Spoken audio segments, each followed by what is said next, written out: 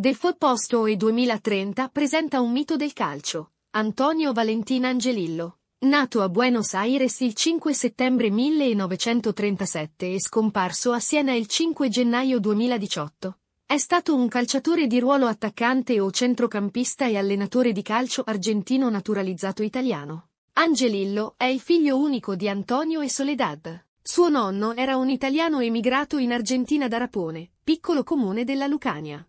Angelillo muove i suoi primi passi nel mondo del calcio nel club locale dell'Arsenal della Vallol. Tre anni dopo compie il salto di qualità, passando al Racing Club de Avellaneda, club con cui debutta nella prima divisione argentina a soli 17 anni.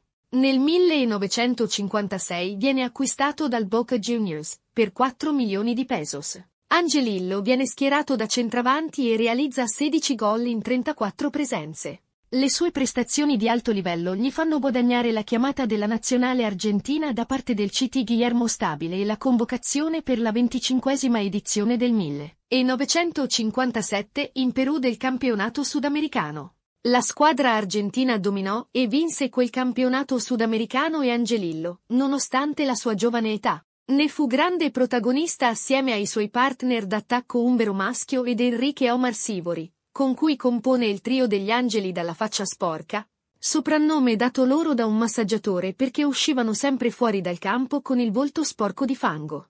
In quel torneo maschio segnò 9 gol, Angelillo 8 e Sivori 3. L'exploit in Perù di Angelillo lo fece diventare presto oggetto del desiderio per molti club stranieri. Angelillo, che aveva solo 19 anni, sarebbe dovuto partire militare in quel periodo e in realtà non avrebbe neanche potuto lasciare l'Argentina. Ma alla fine i soldi prevalgono sempre su tutto e così l'Inter nel 1957, grazie a un assegno di 80 milioni di pesos, riuscì ad acquistarlo e farlo arrivare a Milano a dispetto delle autorità argentine, tanto che Angelillo per 20 anni non poté fare ritorno a casa. Angelillo debuttò in Serie A l'8 settembre 1957 nel pareggio per 0-0 contro il Torino. Trovò come compagni d'attacco il vecchio Veleno Lorenzi, che giocava la sua ultima stagione in maglia nero-azzurra, il non più giovane Skoglund e Massei, anche lui un oriundo argentino. Gli esordi per il grande acquisto non furono semplici. Il problema della lingua e l'adattamento al nuovo campionato resero l'inizio di Ava,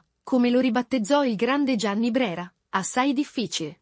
Nonostante ciò, Angelillo chiuse il campionato con 16 gol in 34 partite. Nella stagione successiva, 1958-1959, si laureò capocannoniere con 33 gol, tra cui una cinquina contro la SPAL, stabilendo un record per i tornei a 18 squadre, con 38 reti complessive, inoltre, eguagliò il primato stagionale di gol realizzati con la maglia dell'Inter, appartenente fino a quel momento solo a Giuseppe Meazza. Angelillo rimase all'Inter per quattro stagioni, totalizzando 127 partite e 77 gol. Nel 1961 però, il rapporto con il club di Angelo Moratti si deteriorò. L'allenatore Elenio Herrera accusava Angelillo di condotta negligente. Effettivamente, la sua resa in campo era sotto le aspettative e passava troppo tempo in compagnia della ballerina Ilia Lopez, questo e il cattivo rapporto con Herrera furono i motivi che convinsero la società a cedere l'attaccante argentino alla Roma.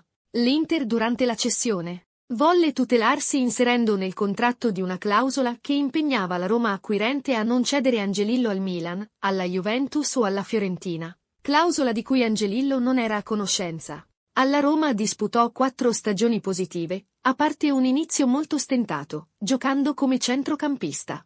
Rimase fino alla stagione 1964-1965, totalizzando 27 gol in 106 presenze e vincendo la Coppa delle Fiere 1960-1961 e la Coppa Italia 1963-1964.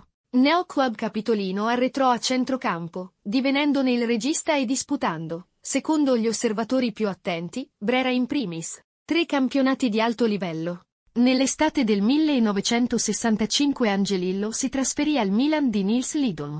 Con i rossoneri disputò una mediocre stagione, 11 presenze e una rete, anche a causa della sua lunga militanza con la maglia dei cugini dell'Inter, malvista dai tifosi rossoneri. Nella stagione 1966-1967, quindi, passò al Lecco, neopromosso in Serie A, dove giocò con il giovane talento brasiliano Sergio Clerici.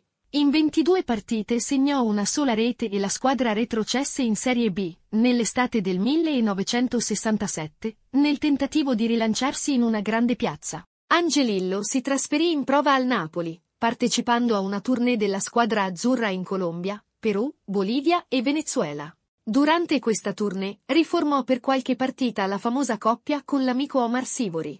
Quest'ultimo fu il promotore dell'arrivo di Angelillo in maglia azzurra e sostenne l'acquisto definitivo alla dirigenza del Napoli, che cercava calciatori dal glorioso passato a basso costo. Tuttavia, le prestazioni appena sufficienti nelle amichevoli con il Napoli e, soprattutto, il grave infortunio occorso al suo amico sponsor Sivori durante la tournée, portarono all'annullamento dell'accordo con la società partenopea. Sfiduciato e senza squadra, Angelillo accettò di tornare al Milan in cerca di un attaccante d'esperienza da impiegare solo in caso di emergenza. Contribuì alla vittoria dello scudetto, segnando un gol in sole tre partite disputate.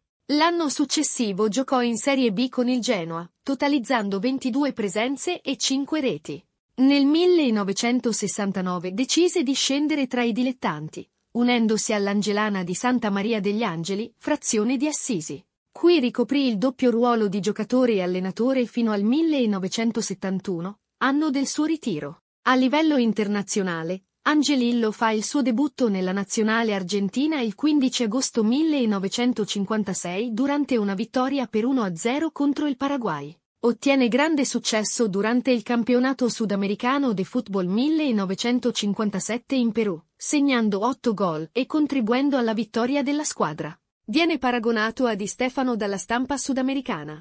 Tuttavia, nonostante le aspettative, l'Argentina viene eliminata al primo turno del Mondiale 1958 in Svezia. Essendo oriundo, Angelillo viene chiamato nella nazionale italiana nel 1960, poiché in Argentina chi gioca all'estero non può rappresentare la squadra nazionale. Gioca solo due partite con l'Italia, con una vittoria e una sconfitta, segnando un gol contro Israele. Non viene convocato per le qualificazioni ai mondiali del 1962. Partecipa invece ad alcuni incontri per la nazionale di Lega, composta dai migliori stranieri del campionato italiano e da giocatori italiani esclusi dalla nazionale A. Terminata la carriera da calciatore, Angelillo inizia la carriera da allenatore con la squadra dilettantistica angelana di Santa Maria degli Angeli, in Umbria dove ricopre il ruolo di allenatore e giocatore dal 1969 al 1971. Successivamente, allena diverse squadre tra cui Montevarchi, Chieti, Campobasso, Rimini, Brescia, Regina e Pescara,